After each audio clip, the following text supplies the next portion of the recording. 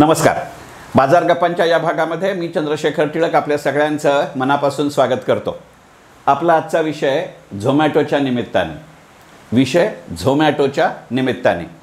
मला खूप पूर्ण कल्पना आहे की हा व्हिडिओ तुमच्यापुढे येईस्तोवर झोमॅटोचा इश्यू हा संपलेला आहे. त्याच्यामध्ये पैसे भरायची मुदतही संपलेली आहे. आणि त्यामुळे एका अर्थाने बैल गेला झोपा केला असं जसं आपण मराठीत म्हणतो तशा पद्धतीचं हे गणित आहे.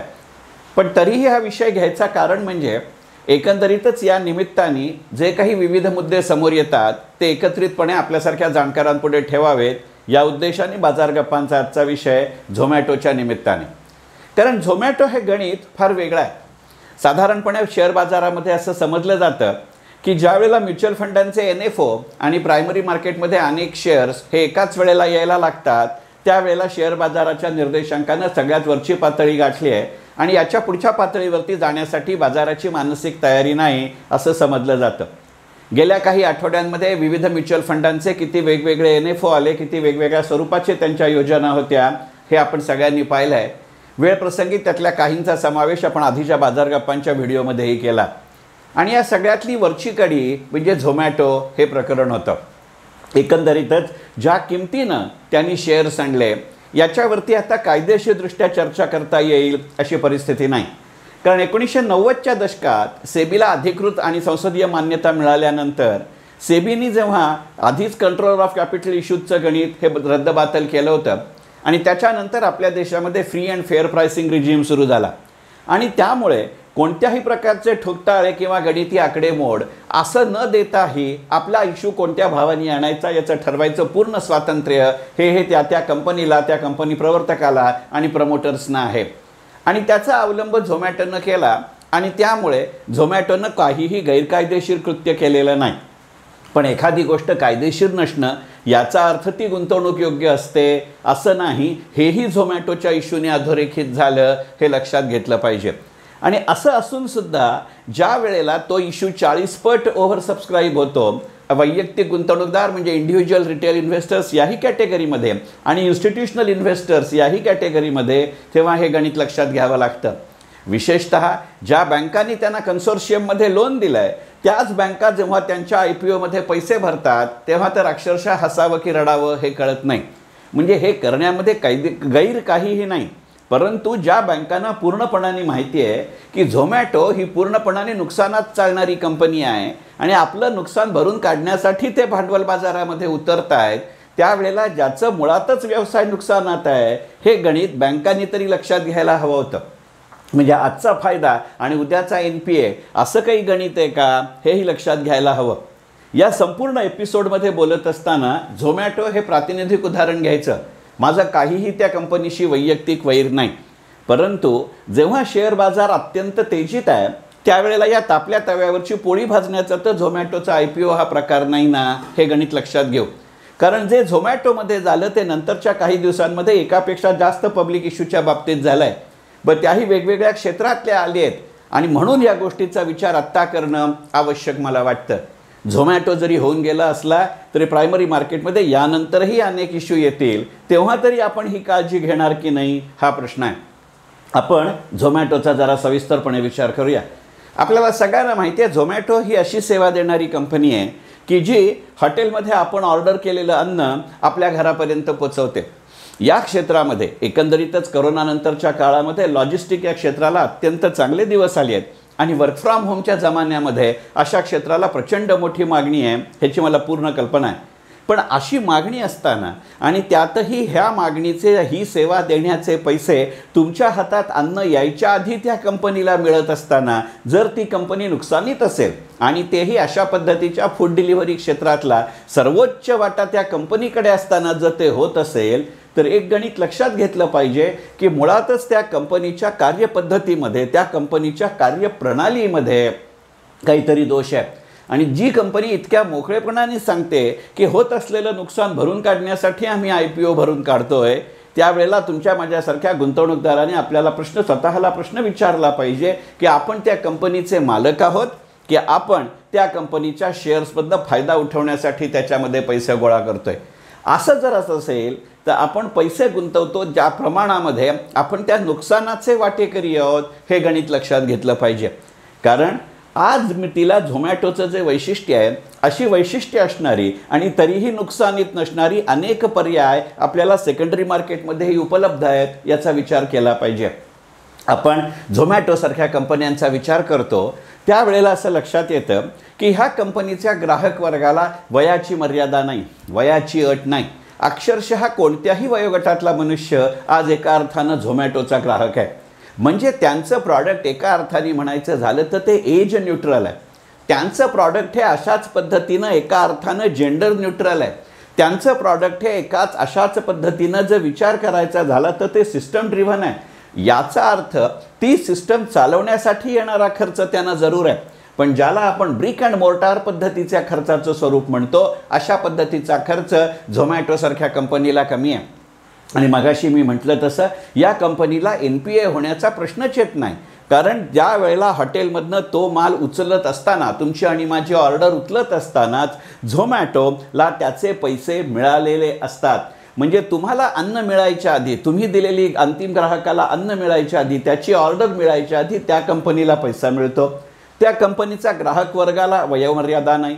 त्या वस्तूच्या ग्राहक कंपनीच्या ग्राहकाला कोणत्याही पद्धतीची लिंगमर्यादा नाही. याच्यामध्ये दररोजच्या ऑफिसचे खर्चही बेताचे आहेत. हे स्वतः अन्न बनवत नाहीत. हे फक्त एंड टू एंड सर्व्हिस देत आहेत एवढंच गणित आहे. अशा परिस्थितीमध्ये जर त्या कंपनीला लॉस होत असेल तर केवळ फ्री पॅसिंगचा आधार घेत आणि शेअर बाजारातल्या निर्देशांकाची सर्वोच्च पातळी विचारात घेत जेव्हा असे आय पी ओ येतात त्यावेळेला आय पी ओचा आणि पर्यायानं तत्कालीन प्रायमरी मार्केटचा आणि सेकंडरी मार्केटचा सुद्धा विचार करणं हे महत्त्वाचं वाटतं. आणि या दृष्टिकोनातनं विचार करत असताना झोमॅटोच्या आय पी ओचा मला विचार करावा लागतो. कारण नंतरच्या आठवड्यामध्ये त्या औषधी क्षेत्रातल्याही काही कंपन्यांच्या बाबतीत आपण पहिल्याच तासाभरात तो इश्यू ओव्हर सबस्क्राईब करायचं गणित केलं. ज्या पद्धतीचा त्या कंपनीच्या कारभाराचं प्रमाण आहे त्याच्यापेक्षा अत्यंत चांगल्या पट्टीनं क्षेत्रामधल्या प्रस्थापित कंपन्या त्यांचा नफा त्यांचं उत्पादन आणि त्यांच्या उलाढालीचं प्रमाण आणि वितरणाची क्षमता या निकषावरती चांगल्या कंपन्या आजही सेकंडरी मार्केटमध्ये आहेत. नवीन कंपनीला वाव देऊ नाही असं माझं म्हणणं नाही. कदाचित आपल्याला जास्त वेगानं जास्त नफा त्यातनं मिळूही शकतो. परंतु सर्वसामान्य गुंतवणूकदार म्हणून अशा पद्धतीचा मिळालेला फायदा आपण खरोखरच पदरात पाडून घेतो का याचा विचार केला पाहिजे. आणि मग ज्या वेळेला मी सुरुवातीला म्हटलं तसं की ज्या वेळेला शेअर बाजाराचा निर्देशांक हा वरच्या पातळीवर गेला असा संकेत अशा गोष्टीतनं मिळतो जेव्हा म्युच्युअल फंडांचे एन एनिफो आणि अशा कंपन्यांचे अशा भावांनी अशा बाजारात येणारे आय पी ओ हे त्याचं गणित असतं. मग असं जर असेल तर अशा पद्धतीचे आय पी ओ आणणाऱ्या क बाजारात आणणाऱ्या कंपन्यांचं प्रोडक्शन मॉडेल अशा कंपन्यांचं डिस्ट्रीब्युशन मॉडेल आणि अशा कंपन्यांचं रेव्हेन्यू मॉडेल हे घटक लक्षात घेता हे जर चालणारे घटक असतील तर या घटकांची पूर्तता करणाऱ्या अशा शेअर बाजारामध्ये आधीच उलाढालीत असलेल्या आणि नुकसानीत नसलेल्या अशा कंपन्यांचा विचार जर केला तर ते जास्त सोयीचं ठरेल का? हा प्रश्न उपस्थित करण्यासाठी आजचा बाजार गप्पांचा भाग आय पी ओ झोमॅटोच्या निमित्ताने. एक उदाहरण म्हणून घेऊया. हे टिप म्हणून देतोय असं जरासुद्धा समजायचं कारण नाही.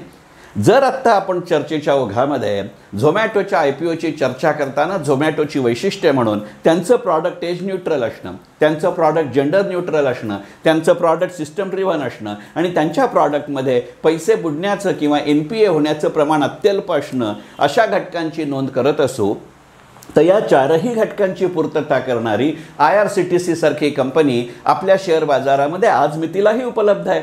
आठशे सत्तावीस रुपयानं त्याची नोंदणी झाली आणि आज तो चोवीसशे रुपयाच्या आसपास आहे. आणि ह्या सगळ्या निकषांची पूर्तता करत असताना I R C T C झोमॅटोसारखी कोणत्याही परिस्थितीमध्ये नुकसानीत नसलेली कंपनी आहे आणि आपल्या क्षेत्राचं विस्तारीकरण करणारी ही कंपनी आहे. ही कंपनी सुरू जरूर झाली की ती रेल्वेचं बुकिंग करून देते. नंतरच्या काळामध्ये रेल्वेमध्ये तुम्ही तिकिटाबरोबर ती अन्नाचीही सेवा किंवा प्रो सप्लाय करणारी ही कंपनी म्हणून अस्तित्वात आली. आज मी तिला अशा पद्धतीच्या सेवा आपल्या देशामध्ये टूर पॅकेजेसच्या रूपाने देण्यात आय आर सी टी सीचा पुढाकार आहे.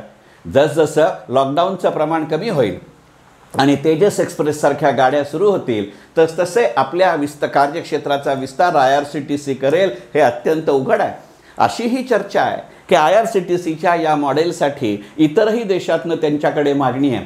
ह्या जर सगळ्या गोष्टी खऱ्या असतील तर कॉन कोणत्याही परिस्थितीत हेच जर निकष मनामध्ये ठेवायचे असतील तर झोमॅटोच्या आय पी ओपेक्षा आय आर सी टी सीची नोंदणी ही आपल्याला सोयीची ठरू शकते.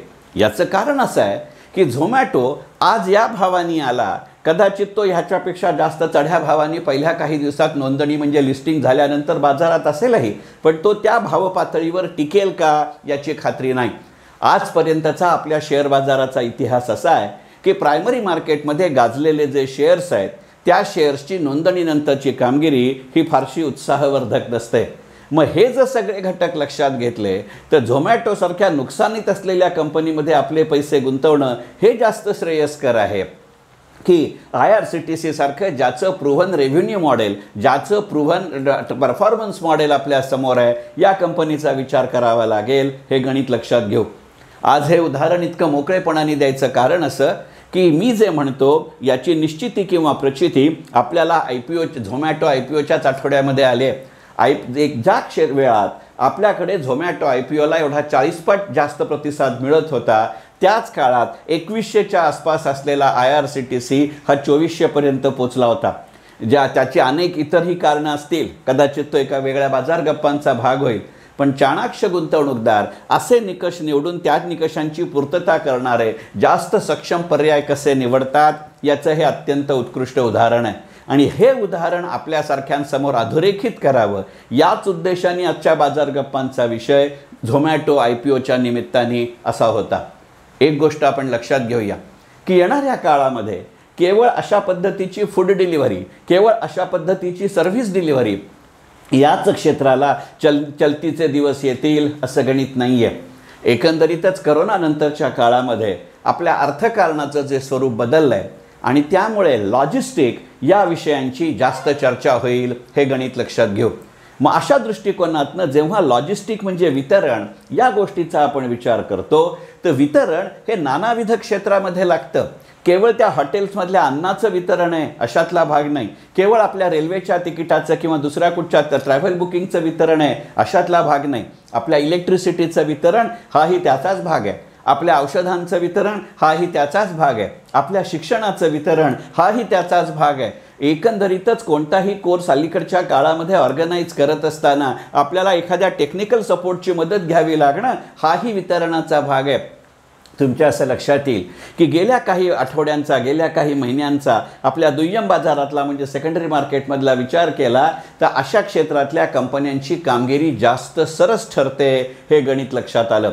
आणि जेव्हा खरोखरीनेच सरकार संरक्षण खात्याशी संबंधित अनेक मागण्यांची पूर्तता देशांतर्गत साधनात करते तेव्हा त्याही क्षेत्रातल्या कंपन्यांची कामगिरी किती चांगल्या पद्धतीनं येते आणि ते किती ग्राहकोपयोगी आणि सगळ्यात महत्त्वाचं म्हणजे शेअरहोल्डर उपयोगी भूमिका घेतात याचंही गणित आपण अनुभवलं आहे आणि त्यामुळे ज्या वेळेला आपल्या अपक्षांनाही मर्यादा नसतात मात्र आपलं नुकसान सहन करण्याच्या शक्यतेला आणि क्षमतेला मर्यादा असतात या मर्यादा केवळ आर्थिक असतात असं नव्हे. या मर्यादा भावनिकही असतात. या मर्यादा मानसिकही असतात. या मर्यादा कौटुंबिकही असतात. आणि विशेषत व्याजदराशी निगडीत गुंतवणुकीची साधनं आत्ताच्या काळात आणि नंतरच्याही काळामध्ये जास्त आकर्षक उरणार नाहीत याची पूर्णपणाने खात्री होत असताना आपल्याला याचा विचार करावा लागेल. एखाद्या व्यावसायिक क्षेत्रामध्ये कोणतीही कंपनी आपल्या पैशांचा कसा विचार करते याचंही उदाहरण आपण याच काळात पाहिलं आहे आणि याची तुलना आपण झोमॅटोसारख्या आय पी ओशी केली पाहिजे. म्हणून आजच्या बाजार गप्पांचा विषय हा झोमॅटो आय पी ओच्या निमित्ताने असा आहे. एक साधं उदाहरण लक्षात घेऊ की गेल्या वर्षभरामध्ये बाकी सर्व क्षेत्र ही करोनाने झोडपली जात असताना काही क्षेत्र याच काळात उभरती राहिली. आणि याच्यामध्ये फास्ट मुव्हिंग कन्झ्युमर गुड्स म्हणजे एफ एम सी जी कंपन्या होत्या. त्याच्यातलं ब्रिटानिया हे झळाळतं उदाहरण आहे. म्हणजे झळाळत्या क्षेत्रातल्या झळाळत्या कंपनीनीही आत्ताच्या क्षेत्रामध्ये बोनस तर दिला पण बोनस देताना त्यांनी बोनस शेअर्स दिलेले नाहीत. त्यांनी बोनस डिबेंचर्स दिले आहेत. हे गणित जर आपण लक्षात घेतलं तर येणाऱ्या काळामध्ये स्वतःच्या पैशाची स्वतःच्या भागभांडवलाची आणि त्यापासून मिळणाऱ्या उत्पन्नाची आपण किती काळजी घेतली पाहिजे याचे हे संकेत आहेत. आणि बाजाराचे असे संकेत जर लक्षात घ्यायचे झाले तर झोमॅटोसारख्या कंपन्यांच्या आय पी ओला आपण किती बळी पडायचं हे गणित लक्षात घेतलं पाहिजे.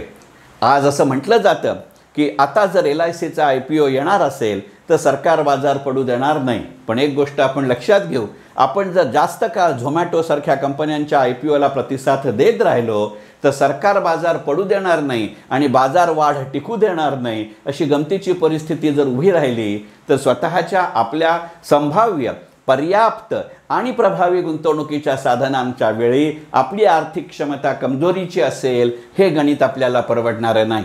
अशा नानाविध मुद्द्यांचा पण सूचक पद्धतीनं विचार करावणं एवढंच ह्या पंधरा मिनिटांच्या व्हिडिओमध्ये मला शक्य होतं आणि म्हणून आजच्या बाजार गप्पांचा विषय होता झोमॅटो आय पी ओच्या निमित्तानं.